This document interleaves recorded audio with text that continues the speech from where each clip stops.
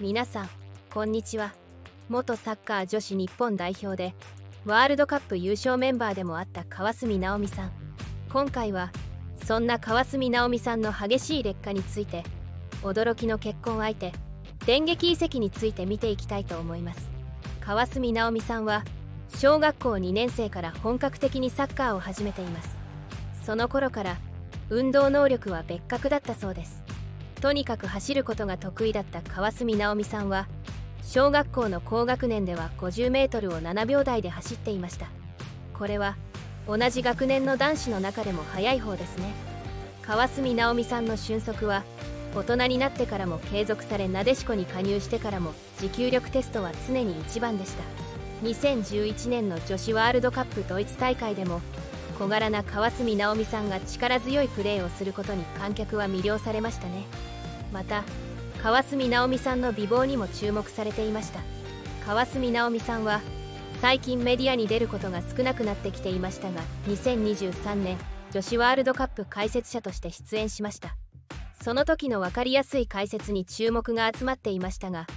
その一方で川澄直美さんの顔が変わりすぎ顔が別人。と話題になっています。川澄直美さんは現在では30代後半です。ワールドカップで注目されてからはすでに10年以上が経過しその頃の川澄直美さんは25歳前後です。当時と印象が変わるのは当然のことでしょう。また当時はメイクをしている印象は薄かったのですが今回はしっかりとメイクをして登場しています。そのため印象も変わりますよね。当時のイメージのまま10年後に別人と言われてしまうと悲しいですね。容姿が変わったと話題になっている川澄直美さんですがその変化に大きく影響しているのが肌ではないでしょうか。ワールドカップ出場時は25歳の川澄直美さん。サッカーは野外でプレースポーツなので常に紫外線にさらされているでしょう。試合や練習常に野外で活動し年齢を重ねていけば紫外線の影響で肌荒れも進行しやすいのではないでしょうか。確かに37歳にしては肌荒れが気になるところではありますが仕方がない部分だと思います。そして川澄直美さんを調べているとワードにヒゲと上がってきます。一体どんな関連性があるのでしょうか。調べてみると川澄直美さんにヒゲが生えているということではなく昔週刊誌に特集された記事の画像がノーメイクでサッカーをしている写真でした。その写真の顎の部分が影となりヒゲのように見えてしまったようです。選手として活動しながらもサッカー解説者として最近テレビへの出演も多くなってきた川澄直美さん。最近 NHK に解説者として出演した時には髪の色がピンクになっていました。もともと可愛い容姿の川澄直美さんなので薄いピンクのショートカットがとても似合っていました。やはりおしゃれですね。さて次は川澄直美さんの電撃結婚について見ていきたいと思います。おしゃれ番長という愛称で親しまれるほど女子力が高くスポーツ選手とは思えない可愛いルックスも相まって人気の高い川澄直美さん。そんな川澄直美さんにお付き合いしている人はいるのかは気になるところですよね。これまで目立った熱愛報道のなかった川澄直美さんですが過去に一度手つなぎデートが報道されたことがあります。しかしこの時のお相手は当時のチームメイトで韓国のサッカー女子代表選手のチ・ソヨンさんでした。ボーイッシュな髪型のチ・ソヨンさんと手をつないでいたことで男性だと勘違いされたようです。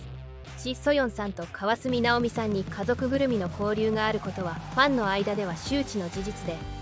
いっそ彼氏彼女としてしまっても良いのではと言われているんだそうです。2015年には自身のブログで入籍のご報告というタイトルで澤穂希さんの入籍について投稿していました。このことがきっかけで川澄直美さんが入籍したと勘違いした人も多かったようです。ですが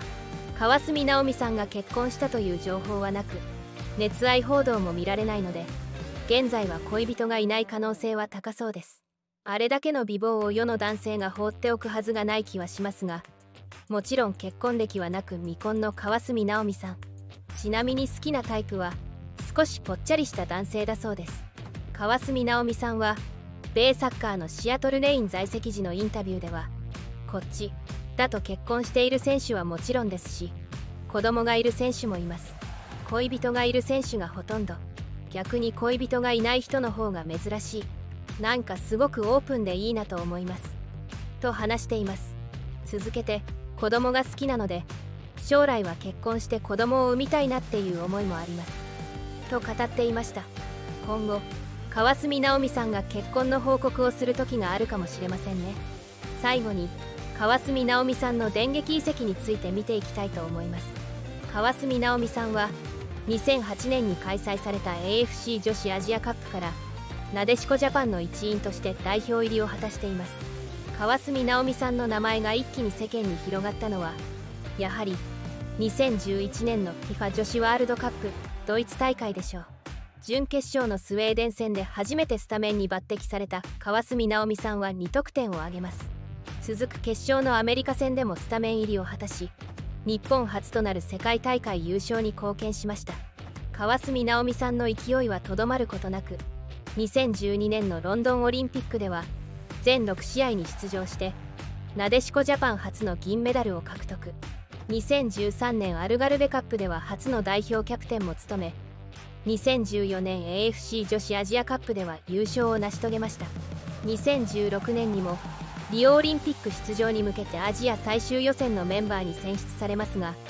予選3位と惜しくもオリンピック出場権は逃してしまう結果になります。2016年4月に高倉麻子新監督に代わってからはなでしこジャパンメンバーからは外れています。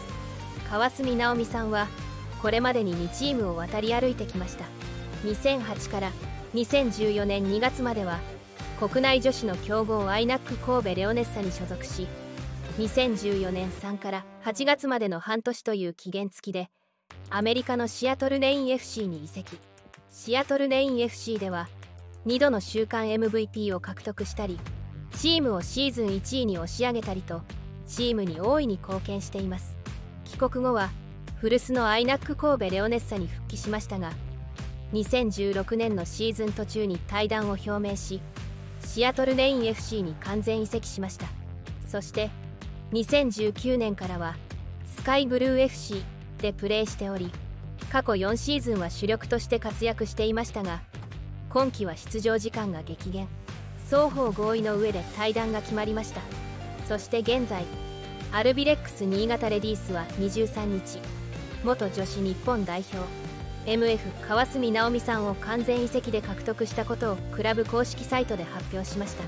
新潟レディースのクラブ公式サイトによると川澄直美さんは背番号19を着用するようです。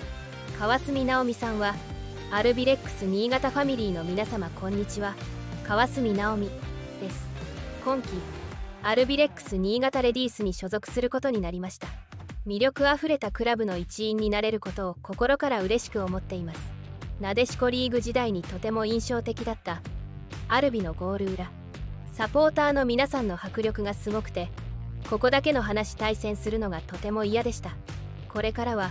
この選手を応援したい。と思ってあのご声援をたくさん浴びせていただけるように頑張ります。生愛してる新潟。ちゃんとも楽しみで仕方ありません。勝つ喜びも負ける悔しさもさまざまな感情をファンサポーターの皆様と共有できますようにとコメントしています。川澄直美さんの選手としての強みは驚異的なスタミナと攻撃的なポジションながらトップもサイドもこなせる柔軟性でそれが魅力ともなっています。川澄直美さんの快進撃はまだまだ続きそうですね。川澄直美さんは現在37歳ですがかの沢誉さんも37歳まで現役を続けたように第一線で活躍する女性アスリートのプレー年齢は高まりつつある現在。川澄直美さんもまだこれからが本番なのでしょう。川澄直美さん自身以前に一番大事なことまだまだ引退はしないと現役続行の意思を力強く宣言しています。その美貌を見ているとついサッカー選手であることを忘れてしまいますが可愛さとは裏腹にサッカー一筋で常に熱い気持ちを持ち続けている川澄直美さん。そんな川澄直美さんですが国内トップクラスのプロ契約選手として活躍しておりその年俸も気になるところではありますよね。しかし実は女子サッカー選手の年俸はプロ契約選手でも200万から500万円程度にとどまるそうです。とはいえ人気の高い選手は年俸の他にスポンサー契約を結ぶこともあり澤穂さんクラスになると